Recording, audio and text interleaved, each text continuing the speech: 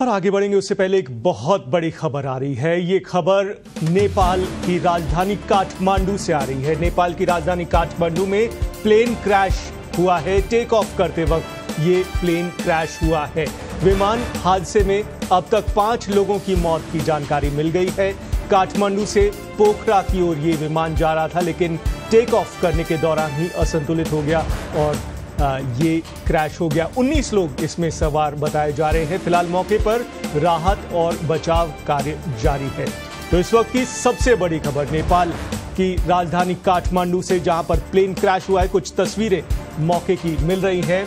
आपको बता दें कि जब ये प्लेन क्रैश हुआ, इसके आसपास के इलाके में एक तरह से हड़कंप समझ गया। मौके पर रेस्क्यू ऑपरेशन फ़िलहाल चलाए जा रहे हैं। बड़ी खबर यह है कि अब तक पाँच लोगों की मौत होने की जानकारी मिल रही है, जिसकी लगभग पुष्टि हो गई है। पाँच लोगों की मौत इस प्लेन क्रैश में।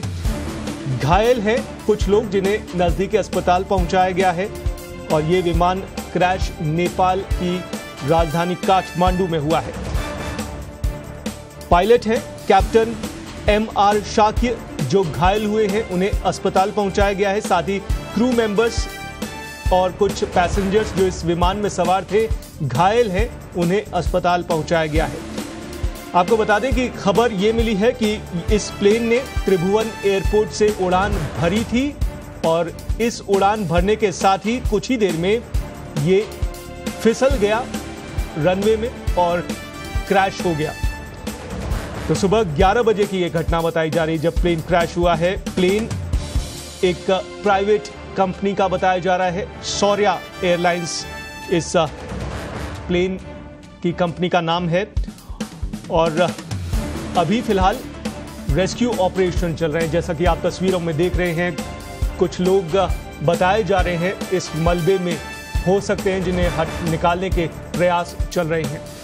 तो विमान हादसे में अब तक पाँच लोगों की मौत होने की बात सामने आ रही है। इससे पहले भी जनवरी के महीने में एक प्लेन क्रैश नेपाल में हुआ था और अब एक बार फिर से प्लेन क्रैश की खबर सामने आ रही है।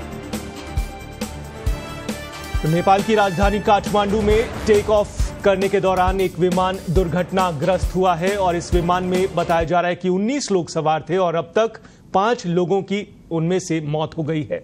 कई लोग घायल हुए हैं जिन्हें अस्पताल पहुँचाया गया है। बचाव दल ने पाँचों यात्रियों के शव फ़िलहाल बरामद कर लिए हैं, जबकि कैप्टन है जो इलाज के लिए अस्पताल जिन्हें भर्ती कराया गया है।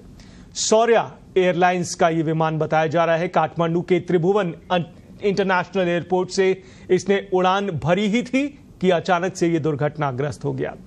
फ़िलहाल बताया जा रहा है, ये विमान पोखरा जा रहा था काठमांडू से। इसमें 19 लोग सवार थे।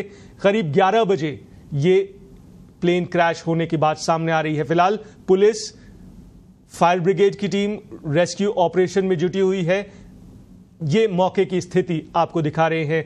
किस तरह से वहाँ पर शासन प्रशासन के लोग तो पहुँचे हुए हैं। स्थानीय लोग भी मदद कर रहे हैं मलबे के ढेर से लोगों को बाहर निकालने की। काठमांडू पोस्ट है, वहाँ का लोकल मीडिया।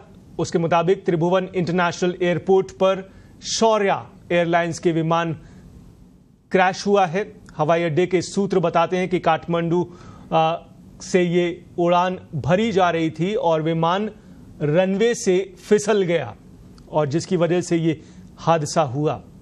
फ़िलहाल जाँच का विषय है कि आखिर विमान रनवे पर क्यों और कैसे फिसला, किस वजह से ये हादसा हुआ है, ये सब तफ्तीश का विषय है, पड़ताल की जाएगी।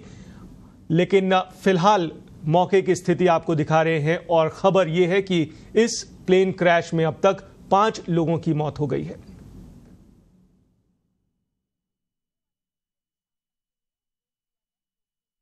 तो नेपाल से इस वक्त की सबसे बड़ी खबर। प्लेन क्रैश हुआ है पैसेंजर प्लेन है, इसमें क्रू मेंबर भी थे कैप्टन जो पायलट थे, इस विमान को चला रहे थे, वो घायल हुए हैं और पाँच लोगों की कैजुअलिटी की बात सामने आ रही है।